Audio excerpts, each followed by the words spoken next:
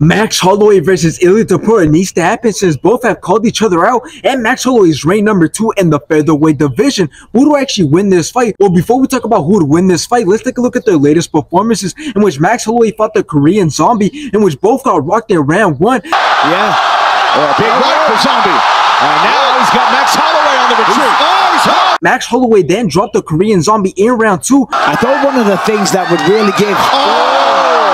And then knocked him out in round three. The Korean Zombie now, oh, Afterwards, we all know, he then went on to fight Justin Gaethje at UFC 300 for the BMF title, in which both went back and forth, very close fight, until Max Holloway dropped Justin Gaethje in round 3, and then Justin Gaethje dropped Max Holloway in round 4. Max Holloway then dropped Justin Gaethje once again, and in the last 10 seconds, they met in the center, and that's when Max Holloway knocked out Justin Gaethje in round 5. Now let's take a look at Ilia Topuria's latest performances, in which he fought Josh Emmett, in which Ilya Tapoya dropped Josh Emmett in round 2.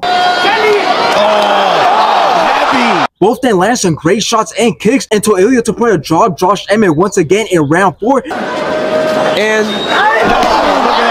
and obviously Ilia Topuria ended up taking it by decision. For the winner by unanimous decision, Ilia at this, we all know he just recently fought Alexander Volkanovski, in which both landed some great shots and kicks in round one until Ilia Topuria knocked out Alexander Volkanovski in round two. Now, first of all, let's clear some things up. Well, on Ariel Helwani's podcast, Ilia Topuria said a couple things that stood out to me, and the first thing that he said was the fact that he'll only fight Max Holloway if the BMF title is on the line. Otherwise, he won't fight Max Holloway, and instead he'll fight Alexander Volkanovski for a second time, which I understand why he would want to do this because it will make the fight much more tense as there will be two titles on the line. But I don't agree with this. I think the fight between him and Max Holloway should just be for the featherweight title to find out who's the best in the featherweight division. Now, when talking about how the fight is going to go, I do believe that Ilia Topuria will knock out Max Holloway, and the first reason is simple, and that is because Max Holloway had three fights to beat Alexander Volkanovski, in which he failed. Meanwhile, only took Ilia Topuria two rounds to knock out Alexander Volkanovski. But not only that, but stylistically, I do believe that Ilia Topuria gives Max Holloway problems, since on Ariel Helwani's podcast, again, he did say that he could punch, wrestle, or go to the ground, in which he's not afraid to do either. So Ilia Topuria is capable of doing anything he wants, and he has the confidence and the ability to do so. And I believe what he says because he did exactly what he said he was going to do against the best in the featherweight division, Alexander Volkanovski. So my prediction is that Ilia Topuria will be the first person to put the lights out of Max Holloway.